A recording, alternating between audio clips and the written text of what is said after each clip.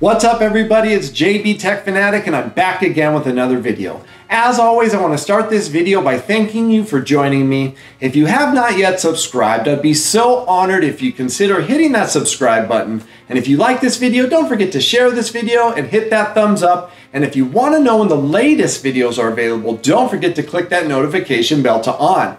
Today we're back with Bose and I have the all new Bose TV speaker. Now, if you did miss the video, I did a video on the Bose Solo 5, which basically this is the replacement. Now, Bose did something here for us that we really were asking for. They added HDMI ARC support and the ability to add a bass module. Now you can add either the 500 or the 700 module using a cable and we'll take a look at that in a moment. But today we're gonna unbox this product. We're gonna show you how to set it up. I'm gonna talk about the best way to set it up, and I'll give you my honest review as well as a sound test.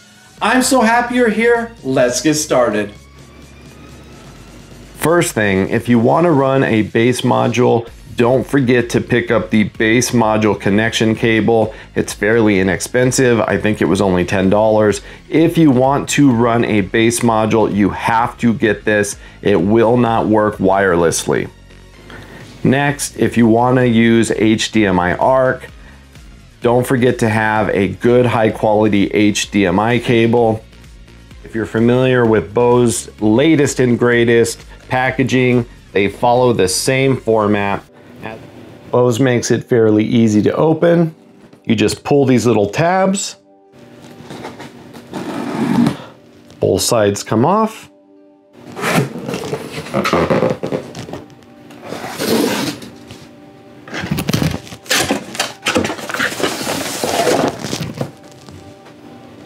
So far, very nice presentation and you can see all the accessories that it comes with. For those of you wondering, it does come with an optical cable. So basically you get an optical cable, the power cable, and a small remote. All right, let's get this beauty revealed. First impression right out of the package, well built, perfect size, I noticed that it does not have a shiny top like the 300, 500, or 700, but it is a nice finish and it doesn't pick up those fingerprints. We have our Bluetooth indicator and our television sound indicator right on front. Trying to position this just perfect so you can see the speakers. We have a speaker dead center and then we have one off to the right and left. We can get that to pick up and you can kind of see what else is going on under this grate here. Around on the back, we have our air chamber. If we slide on over here, you can see where our power plug. This is where you would connect the bass module. Here's your aux in, your optical in, and your HDMI ARC. And then of course you have your service. Quick look at the bottom of the product. Again, well built, hard plastic, should last you a very long time. Let's begin the setup process. Up top is actually my TV's One Connect box. I put this here so you can see how to connect everything. We have three options of connection with the Bose that you'll find here. We have HDMI ARC. Now, if you choose that, you will have to provide your own HDMI cable. We have good old fashioned optical, which of course Bose provides a cable for you. And then of course we have Bluetooth. I recommend using HDMI ARC as it provides the best sound quality. Now it will not hurt if you put an optical cable and an HDMI ARC cable and hook them up at the same time. The only thing you'll have to do on your TV is to decide whether you want optical out or HDMI ARC out. You also will have Bluetooth available at any time you would like. So let's go ahead and plug in our HDMI ARC cable, our optical cable, and our power cable. Now, as you can see, I have everything plugged in, but before I plugged in the ARC, I wanted to point out some TVs do not have ARC support. As you can see, my HDMI ports Only one of them says ARC. If you have an older television, don't worry about it. Go ahead and use the optical. But if you are going to use ARC, remember HDMI ARC has to go to the port that says HDMI ARC. Remember, HDMI ARC support means anything that's coming through your TV, whether it's plugged into HDMI 1, 3, or 4, or you're streaming, will now come out of the Bose TV speaker. It is no different than optical in that sense. You just get better sound quality. However, with standard Dolby Digital, if you don't have ARC, it's not a big deal. You're really not gonna lose out on too much. But then, as you can see, everything is set up ready to go. The next thing you wanna do if you're gonna connect the bass module is to connect the bass module cable. Plug the bass module in right here. Next, go ahead and run the other end of your cable into the back of the bass module. Remember, you can use the 700 or the 500 bass module. On to the remote. Now, there is a few basic functions that we will need to utilize in this very simple remote. First, taking a look at it, we have our power, volume up, down, and mute button. We have our source button at top. That would be the button you would push whether you use optical or HDMI out from your TV. We then have our Bluetooth, our bass, and then our very important dialogue mode. But if you plan on using your television remote, you have to set up auto wake. And the way to do that is simply grab your remote, hold down the power button, wait for it to beep, and then watch this indicator blink three times, amber, then back to white. So you would just grab it, push it, you're gonna hear a beep, And as you can see, we are now ready to go for the auto wake feature.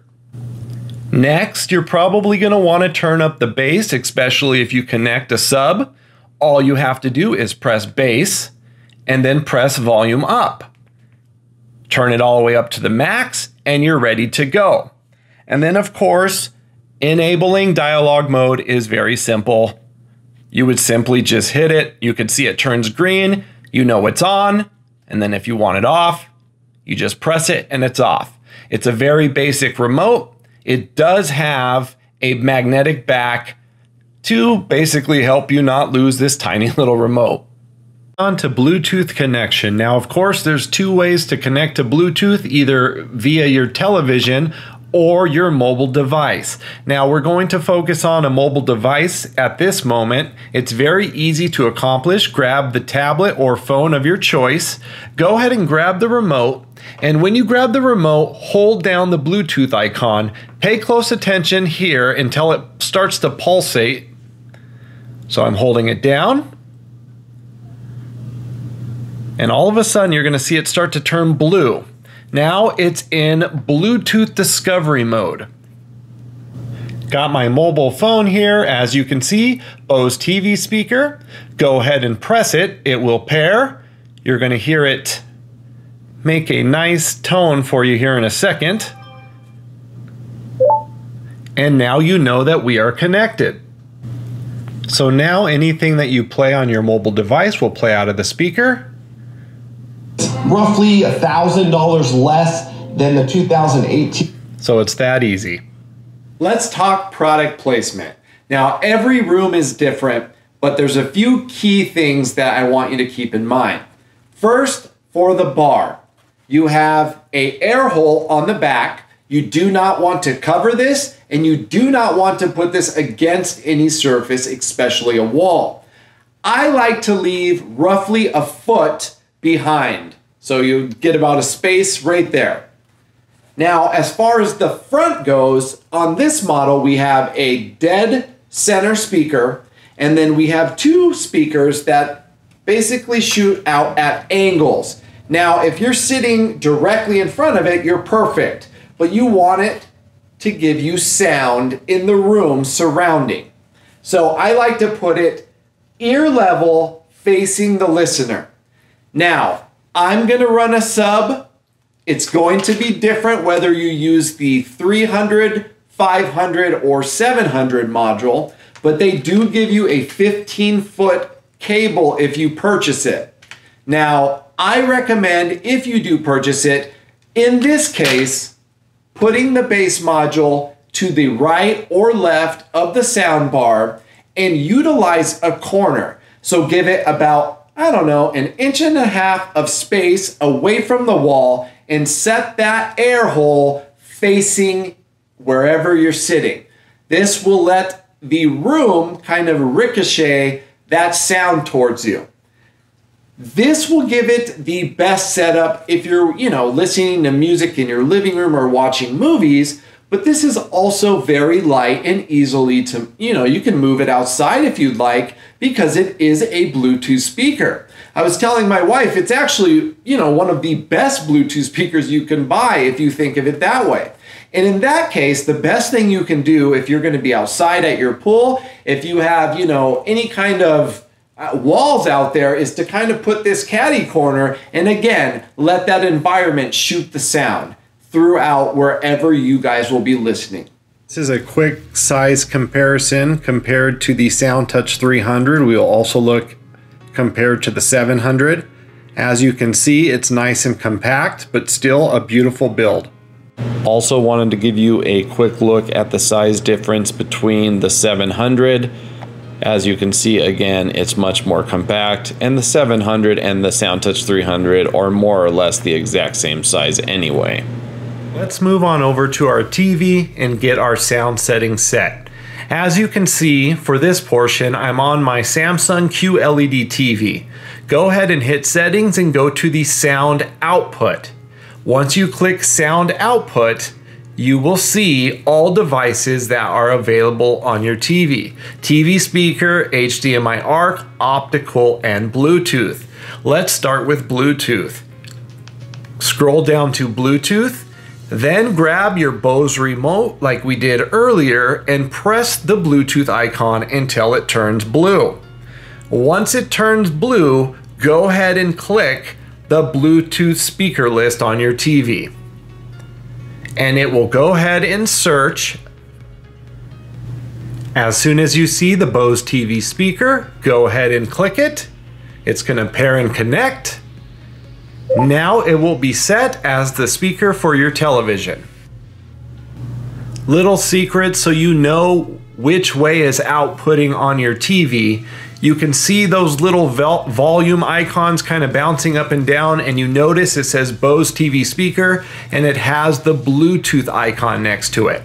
Now let's go ahead and click the HDMI ARC. In order to change it, grab your Bose remote and press the little source icon that looks like a TV.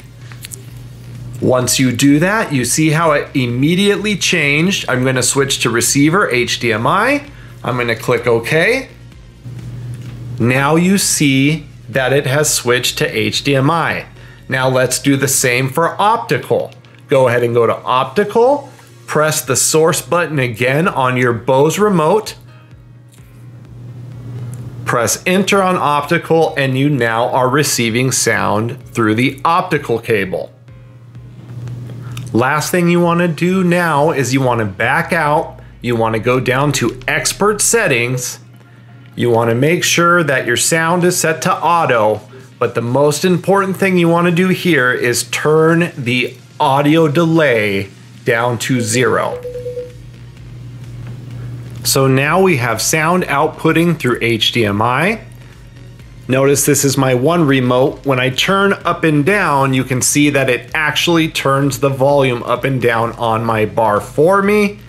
And then if I hit play, back again with another video. As always, I want to start this video by thanking each of you for joining me today. If you have not yet subscribed, we have sound coming out of our bar.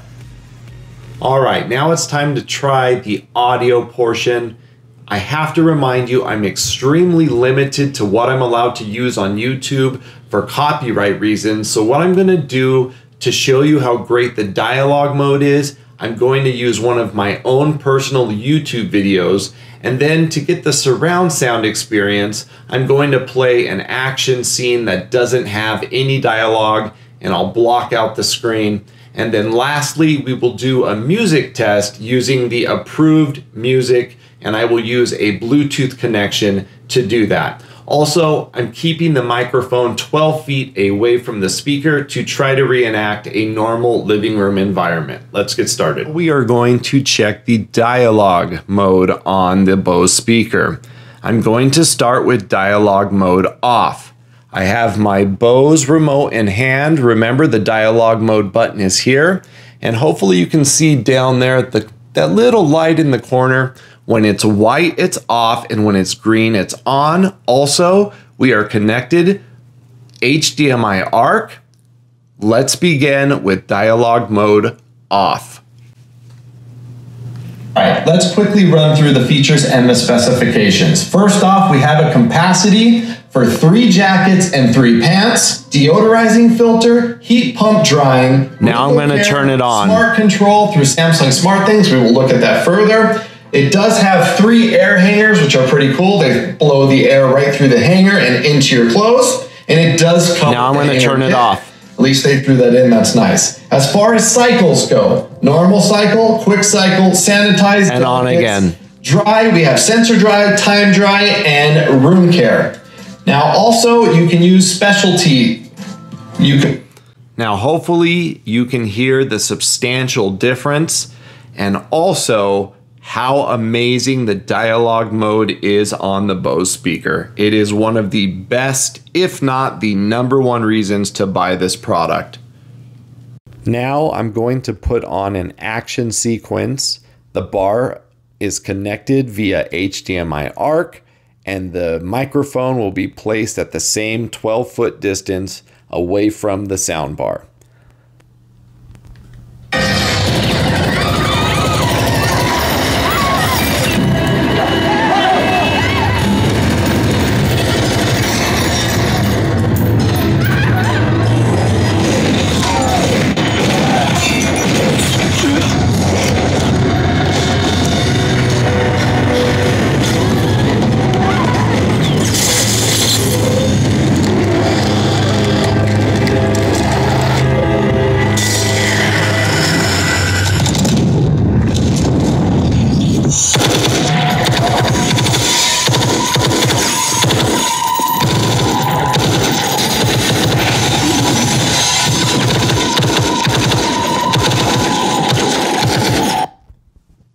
Hopefully, you can hear what I'm hearing. It does a spectacular job. It has great sound separation and is extremely impressive for the size of soundbar. All right, so now we're going to try out the Bluetooth. Again, go ahead and hit the Bluetooth icon on your Bose remote. Please excuse the music. It's not going to be the best. I was just trying to give you an idea, and this is what YouTube gives us for non-copyright. So here we go.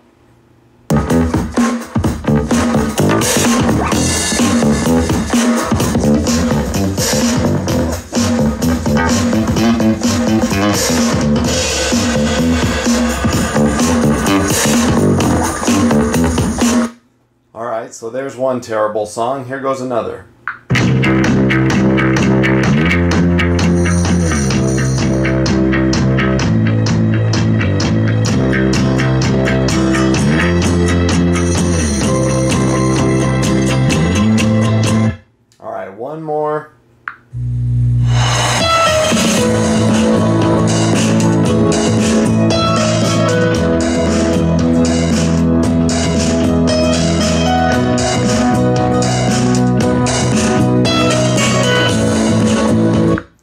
Basically it sounds crisp. It actually has pretty decent bass for not really having bass. It gets very loud. It definitely doesn't sound distorted. Hopefully it's picking up good enough on the mic to get that. But all in all, it makes a very good Bluetooth speaker in addition to a soundbar. So I've used this product now for a few weeks and I wanted to give you my honest review. The first thing that all of you I'm sure are gonna wanna know is should you get this or the Solo? Now, the Solo is likely going to be cheaper because now it's outdated, right? And I will say absolutely yes. And here's why. First, the dialogue mode on this new Bose TV speaker is the best dialogue mode I have heard yet on a soundbar. And that is one of the main reasons why these size bars are sold. It is absolutely outstanding. Second, this has a great array of uses. What I mean by that is so now we have a small, budget friendly soundbar that is great for an apartment or a small home, an RV, or you know, maybe a dorm, whatever it might be, that you can add a sub and now you have bass and it really changes the experience into a more of a surround sound experience. In addition to that, I can see this being a very popular PC um, speaker system. It sounds outstanding for gaming on your PC and it's small, light, and it's easy to, you know, put with your PC. So there's so many different uses for this product. Now, again, the Bose Solo is a great product. It sounds great, but this one lets you add the sub, and this one also, of course, looks better because it now has the new SoundTouch look. You got that beautiful, you know, it looks like a little mini version of the SoundTouch 700. So it's a great product, it's a great sounding product, and it's definitely worth the extra cost based off of just dialogue mode, how much better it sounds, and then of course the option to add the bass module. The next thing that I really like about this speaker is that it's so light and portable. If you're in the market and you're gonna buy a Bluetooth speaker, and let's just say you don't really care about having to plug it in, this makes a great multi-use device. You can easily take this out to the pool, plug it into the wall, have a great sounding, you know, party speaker outside, bring it right back in, hook it right back up to your TV, and boom, now you have a sound bar. We have used it in all different ways. Um, at nighttime, I like in my room, of course, I don't want to wake everyone up. And dialogue always is just hard for me to hear for whatever reason. I often use headphones. And I'm telling you, I was so stunned at how great the dialogue mode sounded on this. It cuts out everything just enough to where you're still getting a great experience, but you can hear everything they're saying without waking up the whole house. I have to say, this is a definitely great product that Bose made. Now, of course, they don't normally come out with new bars every year. That's one thing I actually like about Bose, but this was needed to be done. The enhanced look, the bass module, and then HDMI ARC you can argue that you know something that's not using Dolby Atmos or even Dolby 5.1 doesn't even need ARC support, but it is a nice thing to have, and of course, it is always going to be better quality. Now, if you don't have that, the optical again will give you a great sound, but this is for anyone that has maybe you're on a budget and you need a nice system, and maybe you want to add a sub at a later time, or maybe you already own an extra sub, or you want to just use the one from your SoundTouch 300, your 500, or your Bose 700. This speaker is a great all around speaker that's well built. It's easy to put up, it's easy to set up, and you can use it for just about everything from music to surround sound. And again, I will give it a 9 out of 10 and say this is a definite checkout if you're in the market for a budget friendly soundbar. Well, that pretty much wraps up the review on the all new Bose TV speaker. I would love to hear your feedback on this product in the comments section if you decide to buy it. I'd love to hear whether or not you like the product and what you think about it. As always, I'd like to slow things down for a moment and remind you life is so short. Don't forget to love your family, love your neighbors, take care of each other, go out today and do a small act of kindness for someone. It's amazing how a small act of kindness can go such a long way.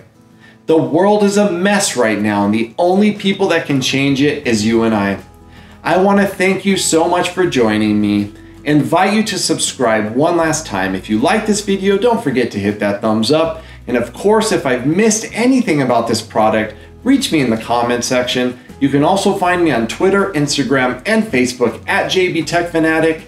Look, I can't wait to talk to you in the comments section and see you in the next video. And until then, I'm JB Tech Fanatic and I'm out. Peace.